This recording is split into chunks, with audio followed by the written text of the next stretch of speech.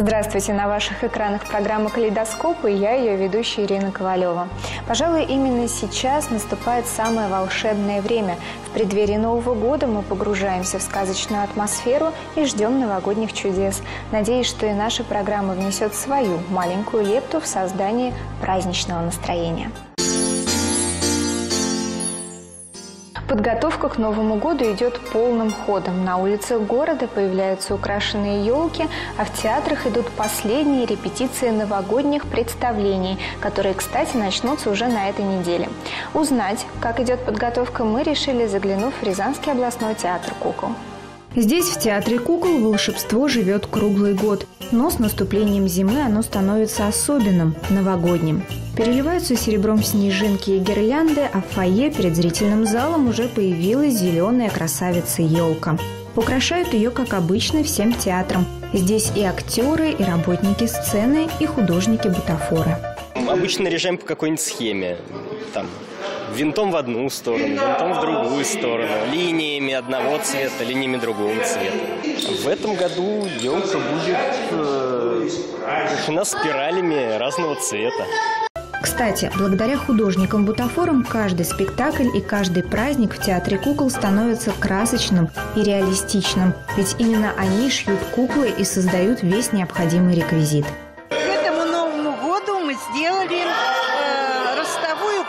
Куклу снеговик, который будет э, э, бегать э, около елки, участвовать в представлении. Снеговик у нас большой и маленький. Одна кукла ростовая на актера, а вторая будет за, за ширмой, э, тростевая. Вот. Э, также мы сделали вот такие морковки. Морковки. Видите, какие декоративные, красивые морковки. Снеговик – один из главных героев готовящегося новогоднего представления. Кажется, что он действительно сделан из снега, и даже нам, взрослым, хочется верить, что он настоящий. А уж о детях и говорить нечего. Ребенок э, по-другому мыслит, и когда он видит какого-то сказочного персонажа, он и есть для него сказочный персонаж. Он тянется к нему, ему это нравится. А когда ты видишь их глаза, ты понимаешь, что не зря не зря все это было проделано. Потому что столько радости, я сам радость получаю от этого, когда я вот э, вижу ребенка, и когда сам играю, я сам получаю от этого радость. Нам посчастливилось поприсутствовать на одной из последних репетиций праздничного спектакля «Снеговик и новогодняя радуга» и даже принять в ней непосредственное участие, почувствовав себя ребенком. Правда, оказалось не только весело, но еще и больно.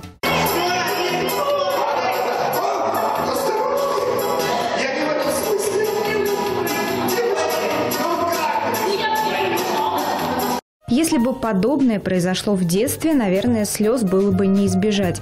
Что ж, надеемся, дети будут аккуратнее, чем я. А если даже и повторят мой опыт, то тоже посмеются над собой. Новый год все-таки, и во всем нужно находить поводы для улыбки. Сначала каждая девочка мечтает стать Снегурочкой. Потом, взрослее, все чаще она задумывается об образе невесты. В любом случае, в акции «Замуж за Новый год» воплотились все девичьи мечты. Участницы смогли почувствовать себя и Снегурочками, и невестами, но самое главное – это то праздничное настроение, которое подарили нам организаторы акции. В честь открытия мобильного приложения «Свадебный эксперт» всем девушкам Рязани, вне зависимости от возраста и семейного положения, было предложено выйти замуж за Новый год. Именно такое название носила акция, прошедшая на минувшей неделе в торгово-развлекательном центре «Премьер». Об акции «Замуж за Новый год» мы, безусловно, слышали и собирались снимать ее как сторонние наблюдатели. Однако в последний момент передумали. Ведь узнать, как это все происходит изнутри, гораздо интереснее. Правда, для этого пришлось нарядиться невестой и вместе с другими участницами погрузиться в атмосферу свадебно-новогоднего веселья. Но если кто не знает, я вот совсем недавно вышла замуж. И для меня эта акция, ну, возможность, наверное, еще раз окунуться в эту атмосферу праздника, почувствовать себя невестой и просто повеселиться. А интересно, как это у других невест? Давайте спросим. Здравствуйте. Здравствуйте. А, Скажите, пожалуйста, вот э, для вас эта акция, как бы, что она для вас? Какие чувства вы испытываете? Как вы себя чувствуете? Месяц назад, когда я узнала об этой акции, подружка сказала, не очень хотелось, а потом, когда согласилась, я поняла, что вот этот вот месяц я прожила в ожидании свадьбы. Если с реальной свадьбой были какие-то вопросы, ну, вдруг не сложится, вдруг что-то здесь, я понимаю прекрасно, все сложится и будет. Вот.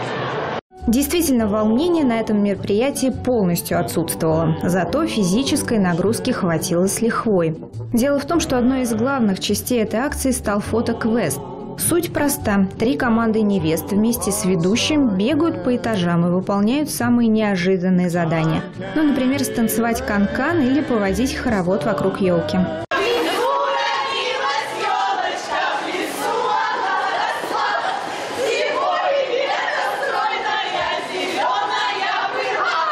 Да, шлейф моего платья мешал всем, в том числе и мне. Зато он пригодился, когда нам нужно было растянуть нашу команду на максимальную длину.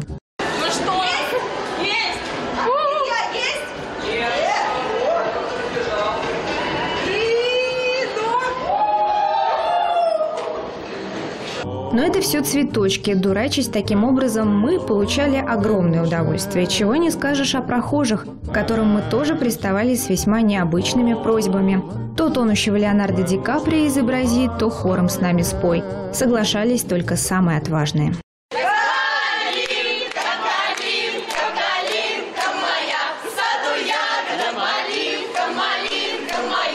Ну а делалось все это ради фотографии, ведь это же фото-квест, на который были приглашены лучшие фотографы Рязани.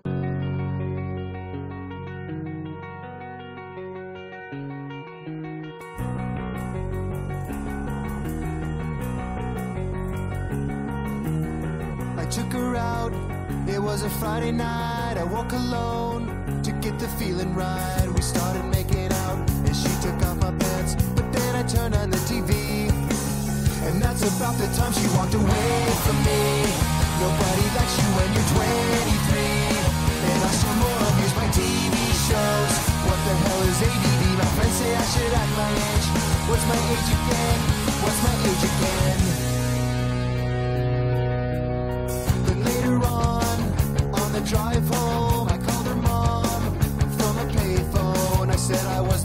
Кстати, пока мы совершали забег, на третьем этаже торгового центра шел концерт и разыгрывались призы от мобильного приложения «Свадебный эксперт» и партнеров этой акции. Без подарков не остались и вернувшиеся участницы. Главный приз получила самая яркая и новогодняя невеста.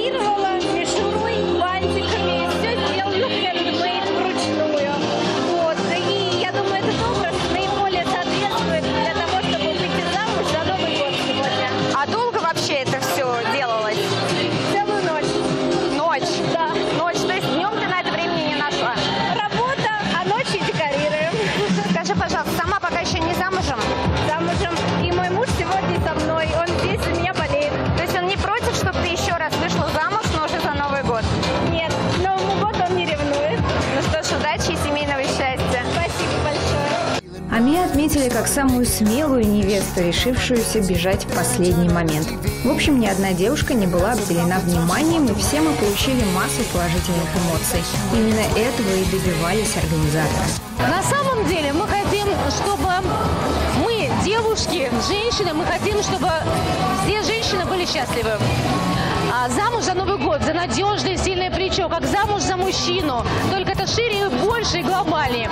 Пусть девчонки, которые не замужем, встретят свою судьбу, а, начиная с этого дня и далее, в следующем году. А которые замужем, пусть будут очень счастливы.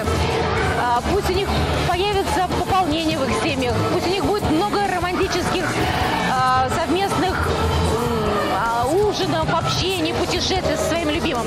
Замуж на Новый год. Ну, это круто. Мы любим Новый мечтают об этом. Мы это все соединили. И пусть это будет такой праздник радости и красоты. В общем, акцию «Замуж за Новый год» можно считать одной из самых новогодних и веселых акций уходящего 2015 года. Подарок, сделанный собственными руками, вдвойне дороже, даже если он из бумаги. На днях в Рязани прошел мастер-класс, на котором все желающие могли познакомиться с древним искусством оригами. Но кто из нас в детстве не делал из бумаги лягушек и журавликов? Правда, тогда мы и не подозревали, что приобщаемся к древнему искусству оригами.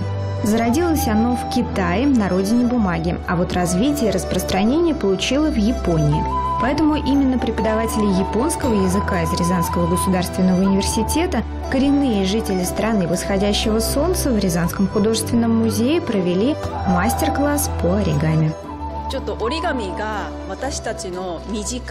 Очень сложно сказать, насколько оригами популярно в Японии на сегодняшний день, но это искусство постоянно окружает нас по жизни. Японцы с самого детства умеют складывать оригами, они много тренируются. Делается это для разработки мелкой моторики, чтобы потом во взрослой жизни уметь производить более точные и аккуратные движения, более умело владеть ножницами, аккуратно складывать бумагу, заворачивать подарки. Конечно, в России оригами не столь популярно, но студенты и школьники с удовольствием повторяют отточенные движения преподавателей и, кажется, довольны тем, что у них получается. Ну, Это интересно, ну, когда получается какая-нибудь необычная штука потом. Ну, то есть так сначала вроде бы простые там какие-то движения делаются, а потом получается что-то интересное. Ну, по-моему, это здорово. Кстати, оригами не только развивает мелкую моторику, но и способствует развитию математического мышления, так как это искусство построено на законах геометрии. В любом случае, это интересно, необычно и увлекательно, в чем и смогли убедиться рязанцы. Елки, подарки, мандарины, оливье – все это уже привычные атрибуты новогодних праздников. Однако в этом году у рязанцев есть возможность внести немного экзотики в традиционную праздничную картину. Окунуться в мир экзотики в эти новогодние дни можно, не покидая города. На втором этаже торгово-развлекательного центра «Круиз» расположился большой зоопарк экзотических животных, в котором вас ждут более 60 видов рептилий, приматов и птиц. Вы давно мечтали показать ребенку, как выглядит крокодил? Пожалуйста. А может быть, хотите посмотреть на живых символов наступающего года? Без проблем. Их здесь представлено несколько видов. Это и тамарины, которые, кстати, занесены в Красную книгу, и невероятно смышленый лапундер. В свое время, когда мы запускали в космос собак, в начале 60-х годов французы запускали со своего космодрома вот таких вот обезьян. Так как у нас были собаки, у них были обезьяны в той местности, где стояли космодромы, то они практиковали таких обезьян. То есть это очень смышленый вид приматов, который используется также населением в качестве сбора кокосов. Здесь же вы познакомитесь и с другими представителями семейства приматов. Ну, например, вот с таким общительным гибоном Валиком и даже с лемурами, которые, кстати, обитают только на Мадагаскаре. Посетив эту выставку, вы можете не только полюбоваться на животных и рептилий, но еще и достаточно плотно с ними пообщаться. Наверняка заводить близкое знакомство со змеями мало кто захочет, но здесь достаточно и других рептилий, кстати, весьма дружелюбных. Ну, например, игуана Яша, который даже глаза от удовольствия прикрывает, когда его гладят. Есть здесь и такие животные, о существовании которых вы, возможно, и не подозревали. Так что не упустите шанс расширить свой кругозор и получить массу положительных эмоций. Зоопарк будет гостить в нашем городе до 17 января.